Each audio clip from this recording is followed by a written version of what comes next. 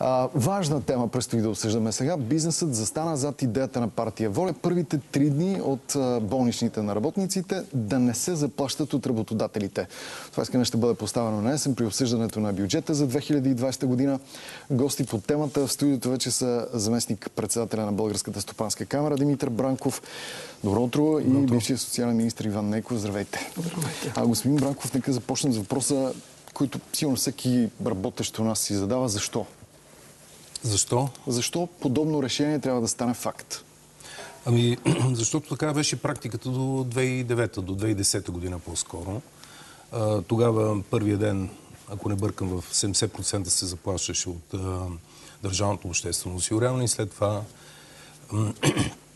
нали, по една схема а, изцяло обещетенията за временна нетрудоспособност се поемах от държавното обществено осигуряване.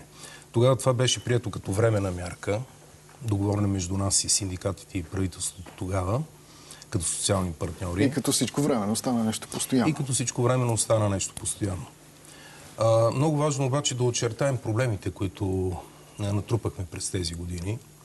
А, над два пъти са се увеличили средствата, които се изплащат за временна нетрудоспособност, за така речените болнични кратко казано. От 16 на 24% са нараснали дела на работодателите в общия размер на изплатените суми, което подсказва, че имаме широки злоупотреби. Пробиви в, и в социалното осигуряване и в здравеопазването, които, които генерират едни разходи, които в крайна сметка поеме всички като общество. И системата на, на общественото осигуряване, и работодателите, и работниците. Тъй като и двете страни в, индустри... в, това, в трудовото и осигурително отношение в крайна сметка са плаци към, към системата. Искам да подчертая също, може би, два или три от дефектите, които виждаме, които многократно пъти сме подчертали в официални позиции. На първо място, занижение контрол – от страна на компетентните органи, в случая визирам, мисля, че не бъркам агенции медицински одит, по начина по който се издават. Второ, имаме един огромен дефект, свързан с това предоставяне на права, в това число пенсионни и за краткосрочни обещетения, без да са платени осигурителни вноски. все по-често нарастват измамите, при които без да е положен труд, той се декларира като положен, не се заплаща, не се заплащат вноски. В такъв тип осигурителни измами, между другото, участват и осигурители, и осигурени лица. В този източване на държавното обществено да се в схемата. Трябва и работодатели да се И работника също. И работника, да. И лекара, който удостоверява съответните заболявания. А, и за съжаление този тип измами, осигурителни измами нарастват това подсказва, че ние имаме грешни, грешна конструкция и много наброй дефекти, които се наслагат в системата. А, така реченото електронно здравно досие. То трябваше отдавна да е факт, за да може да се осъществява един по-прецизен контрол. И ако си дам въпроса, кой пък осъществява контрола по събираемостта на вноските, ще видим, че промените, които преди години бяха введени с това да се занимава НАП, а не НОИ, като че ли не бяха най-добри избор но сигурно е късно да се връщаме назад. Господин Нейков, първо да започнем от това как ви се струва идеята, свързана с болничните и след това mm-hmm. проблемите и в здравната и социалната сфера у нас. Всъщност, ако наистина се върнем да видим каква беше причината за тази промяна, а, тъй като наистина до към 2010-та всичките болнични плащаха от Националния осигурителен институт.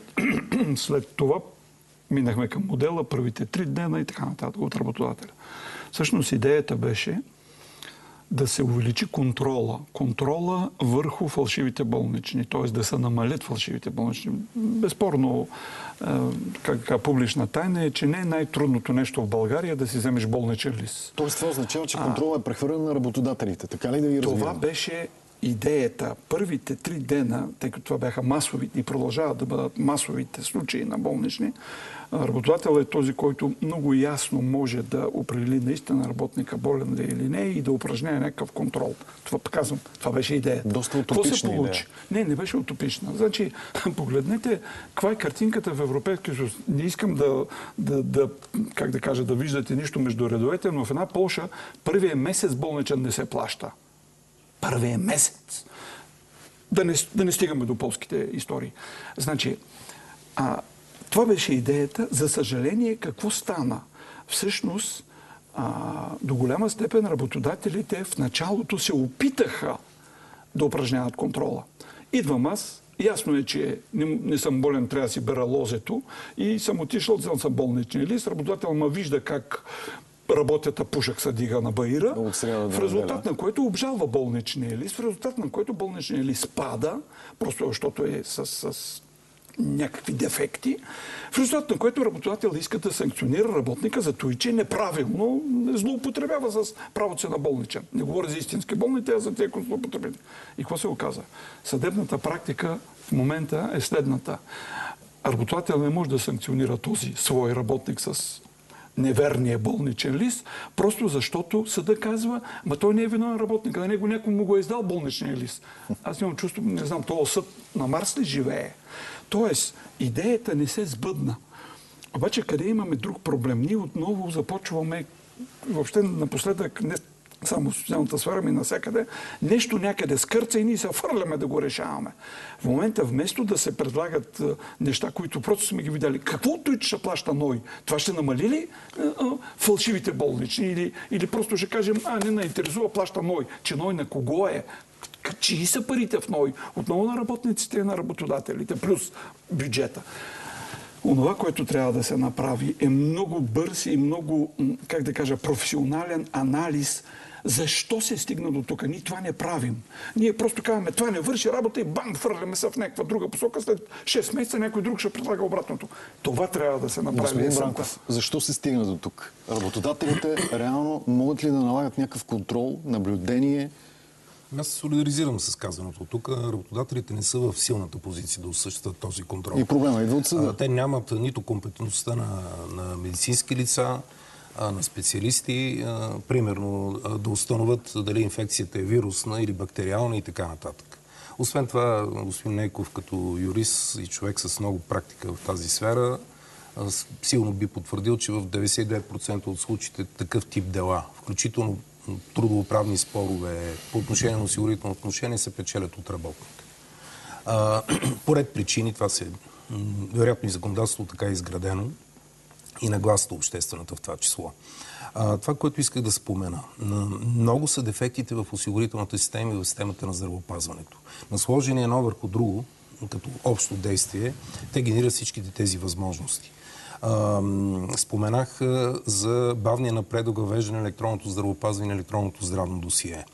Ако имахме напредък в тази сфера, оценката на риска по видове заболявания, по региони, както е разположена работната сила и работните места, може да се прави един по-прецизен анализ на риска и, и това и в момента е възможно, разбира се, и съответно да има една превенция, един по-засилен контрол от страна на компетентните органи. Те за мен са с доста урязани функции и с доста нисък административен капацитет да покрият територията на страната и всички случаи.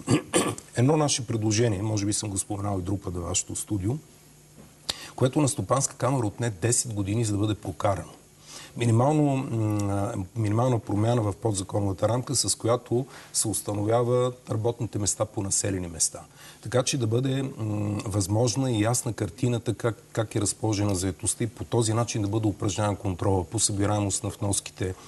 Пак на база на, ако разполагахме с тази информация, може да се прави една доста по-прецизна оценка на риска а, и в конкретния случай, който обсъждаме. Сега, важен въпрос, свързан с този период на изчакване. Казахте в Польша, един месец не получават болнични. Един от двата варианта, който предлагате, е тези три дни изобщо да не се плащат. А, какво обаче става с майките? Майките на малки деца, които тръгват на ясла, на детска градина и те боледуват често и за кратко. Вижте, тъй като работодателските организации имат позиции, не казвам различни по този въпрос, но оригиналното наше предложение, за което всяка всички работодателски организации, беше връщане на старата практика и засилване на контрол. Парите да се дават от НОИ. Парите да се дават от НОИ. Хората са осигурявали там, осигурителите, осигурените лица, тези, които ще се издължили обаче към нас, споменах, че при нас е обратна ситуацията. Без значение дали сте ви платили вноските, ви имате право и на пенсионни права, когато ви дойде времето, право на пенсия и на краткосрочното обещетение. Още тази година с пакета данъчни закони и промени в осигурителното законодателство трябва да се прекрати практиката да се получават тези права без да са платени вноските. Господин Нейков, ако все пак властта реши, че тези три дни не трябва да бъдат плащани? Значи, първо подхождането по този начин на калпак на всички по един и същ начин не е, наистина не е добър. Има много случаи, в които а, ще ощетим хора, от, които наистина имат нужда от това право на, на болничен отпуск, истински болните. Значи, аз имам непрекъснато срещи с работници, и с работодатели. Какъв, ако така мога да си позволя, какъв съвет бих дал? Нека работодателя да анализира откъде му идват болничните листа. В много предприятия, когато правим този анализ, се оказва, че предприятия с 2000 души, двама джипита, двама лични лекари, лекари да. всъщност дават 80% от болничните листа. Що ме така, значи там някъде е проблема. А това е същия проблем случай... като фалшивите телкове. Да, това е също, да, приблизително същата история. В такъв случай насочи се там атакувай и успорвай действията на този GP, на този личен лекар, който явно непрофесионално подхожда към, към проблема. И тогава рязко ще се намали, ще има ефект, рязко ще намали тези изкуствените болнични. Но ако отново тръгнем точно по този начин, на всички даваме или на всички махаме, ще сбъркаме. Ще само едно изречение. Важно е. Само 20% от, болнич, от дните в болнични са издадени от GP-та. Само 20%. Голямата част са в болничната помощ. А там, знаете, злоупотребите с да. хоспи... хоспитализацията, която не е реална, но която се ползва да се закърпи бюджета на съответните болнични заведения. Така че проблемът е много по-широк и той, той опира и до системата на осигуряване, и до системата на здравеопазване. Дано се намери решение. Едно изречение само и по другата важна тема. Данъчните складове да се контролират по-строго с денонощно видеонаблюдение в реално време. Това предвиждат промени в закона за акцизите и данъчните складове. Обявихте тази идея за нереалистична. Защо? Ами, вижте, липса пълна оценка, каквато и да е оценка на въздействие. А, промените, които се предлагат, те касаят и още един тип лица. Но, освен на складодържателите и така наречените лица, които са освободени от акциз като крайни потребители. За тях пък се предвижда друг режим. Да въведат системи за измерване, свързани с енергийни продукти, които ползват с двойно предназначение, които да работят в реален режим, да предават информацията в митническата администрация в голяма част от случаите дори няма техническа възможност за монтиране на такива уреди. Отделно става дума за нарушаване в първия случай монтиране на системи за видеонаблюдение, за нарушаване на, и на европейски регламенти и на българско законодателство вече за защита, По защита на, личните ни данни. Да. А, става дума за огромни средства втори път за предоставяне на информация, която вече е налична в а, държавните органи. Конкретно по отношение на консумацията на енергийни продукти с двойно предназначение. В голяма част от случаите се изготвят материални баланси за употребата, примерно на органични разтворители, налични са данните в държавната администрация. Има два закона, които забраняват да се иска повторна информация, която вече е налична в данъчна администрация. Визирам закона за електронното управление, и закона за ограничаване на административното регулиране и на, не го изказвам закона с точното наименование, но за ограничаване на административната намеса на държавата. Добре, 11 август до тогава тече общественото обсъждане. Предполагам, че вижданията ви ще бъдат чути. Благодаря ви на двамата. Разговор за пари, разговор за социална сфера тук у нас и сега на тема история.